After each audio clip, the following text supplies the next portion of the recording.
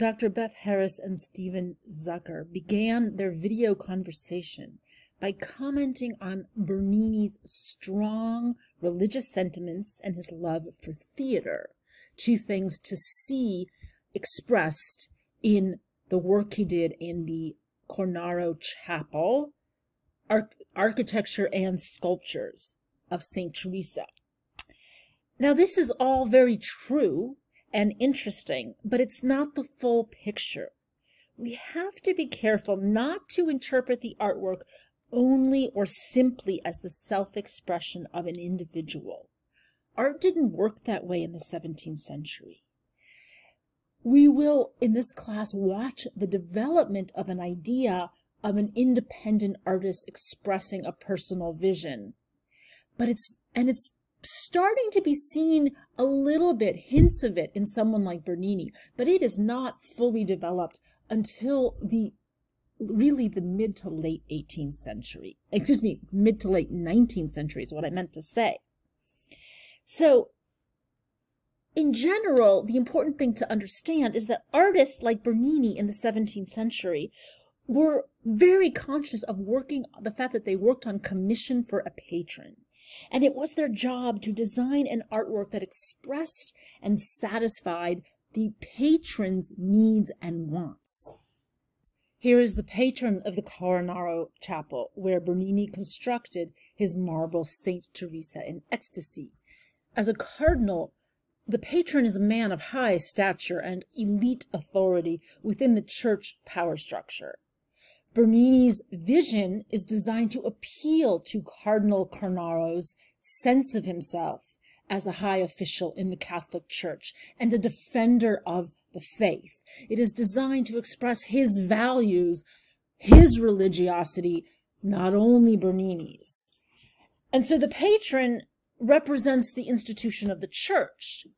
And in this way, to fully understand Bernini's sculpture in the Cardinal's Chapel, we have to think about the position of the Catholic Church in the 17th century. Its way of using art to bolster its authority as it is in the midst of crisis. Because Bernini is very conscious of the church itself as being the, the, the very source he is referring to, or the very most meaningful ground beneath the Saint Teresa sculpture. In the 17th century, the Catholic Church was facing a major crisis with massive cultural implications. It began in 1517 when Martin Luther, shown here in this portrait by the painter Lucas Cranach, Martin Luther changed the course of religious history and culture in Europe. He started out as a priest in the Catholic Church but famously challenged the authority of that church by developing 95 theses, statements, accusing the popes and the church of essentially corruption, pointing out things like the sale of indulgences where people can pay to be sort of excused for their sins. This was a religious earthquake for Europe. Understand that the Catholic Church had been the sole institutional voice of Christianity in Western Europe since the 500s, a thousand years. It had had a monopoly on religious life for a thousand years. That broke apart in the 1500s, and it led to massive cultural implications, sectarian strife, violence, as well as the development of new schools of Christianity, which rejected the papacy and established different forms of thought and new styles of worship. In this atmosphere, the Catholic Church mounted a campaign to restore faith in its righteousness and to defend itself from critics reasserting control. Challenging the Reformation, the popes decided to launch what is called a counter-reformation. And here is an important figure in that counter-reformation, Pope Paul III. He assembled a Council of Trent, which was supposed to respond to this challenge by defining Catholic dogma, creating reforms, and having more training of the priests. At the same time, he also started the Inquisition because one of the ways the popes would respond was to have a papal office that was seeking out heretics for interrogation, for trial, and for sentencing.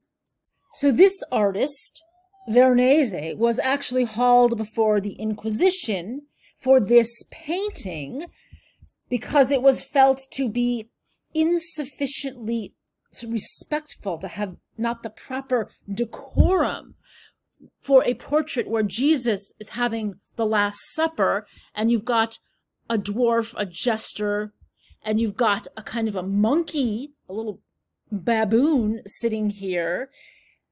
It was felt that these curiosities were distracting from the holy message. And the artist Veronese, he essentially found a way to wiggle out of this by changing the name and saying, no, really, it's not supposed to be a last, last supper. It's actually a different subject. It's a feast in the house of Levi. The point is we can see that art is very important in the Counter-Reformation. It is important in that the Protestants are saying that the, one of the ways the Catholic Church is corrupt is it has too much art.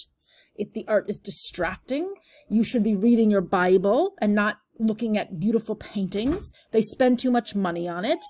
And then on the other hand, the Catholic Church is going to double down on the art and it's going to use the art to really try to draw in and connect the worshiper in a stronger, more, more emotional way to really kind of fortify the connection between the Catholic Church and the Catholics who worship in that religious tradition.